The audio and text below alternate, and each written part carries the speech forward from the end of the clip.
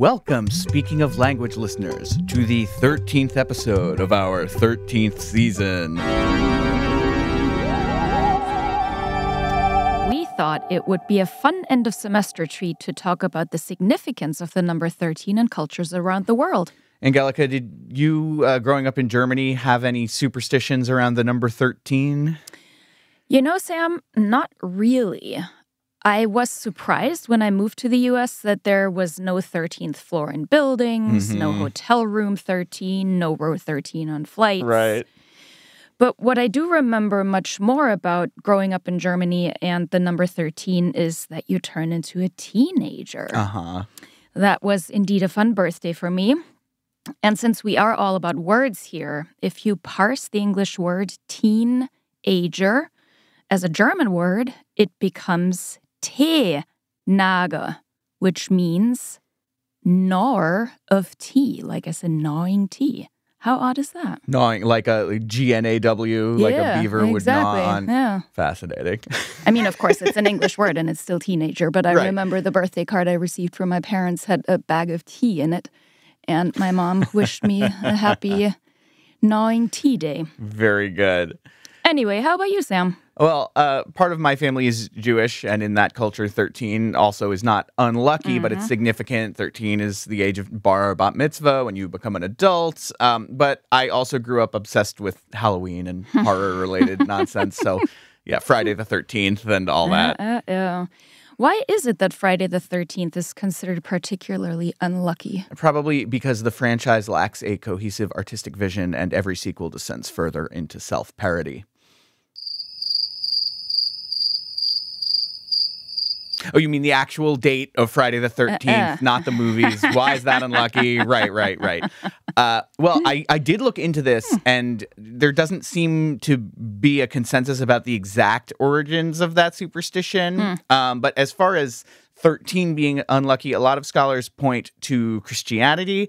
Um, but in both Christian Sure. and Norse mythology, the 13th guest at a dinner was a troublemaker. Um, you know, Judas Sure. betrayed Jesus after the Last Supper.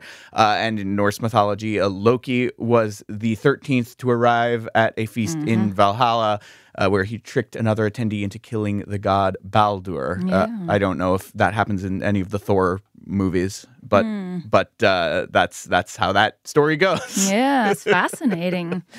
Well, I am told one lucky thing about Friday the 13th is that you can often get a discount for booking a wedding venue on that date. We love a bargain here on Speaking of Language. Indeed, we do. Some other superstitions regarding the number 13. In Mexico, for example, some people also believe that 13 is unlucky, which may date back to Mayan and Aztec traditions. In Mexican culture, though, Tuesday the 13th, not Friday, but Tuesday, is the ominous combination of days. Uh, and I will also share this this tidbit that in the United States, after the near catastrophe of the Apollo 13 mission, NASA stopped numbering its space shuttle missions. Um, and in 2006, I read that Brussels Airlines changed its logo so that it would be made up of 14 dots instead of 13.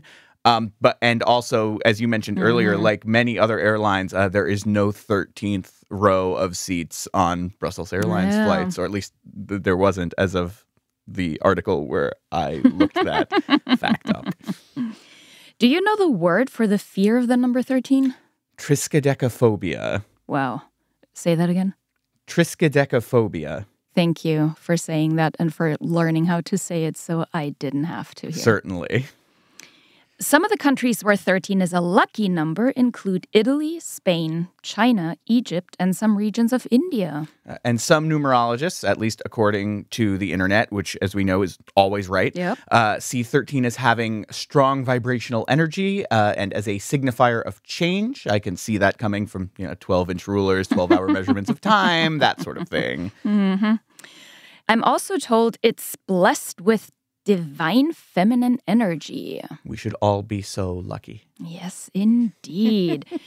but Sam, we have left out one very significant global culture that sees importance in the number 13 Uh, and what's that? Taylor Swift. Wait, I'm sorry. So, Tay Tay, born on December 13th, 1989, Lady Taylor turned 13 on Friday the 13th. Her first album went gold in 13 weeks. Five of her songs so far have peaked at number 13 on the Billboard Hot 100, and many of her songs have 13 second intros. She says it's her lucky number. It seems like you know this all too well. Hmm. Anyway, we hope you all have enjoyed our bonus episode about the number 13. This brings our 13th season to an end. We'll return in the fall semester with new topics and new guests. In the meantime, you can check out our back catalog of episodes over the summer. Please take care of yourself and those around you. Until fall.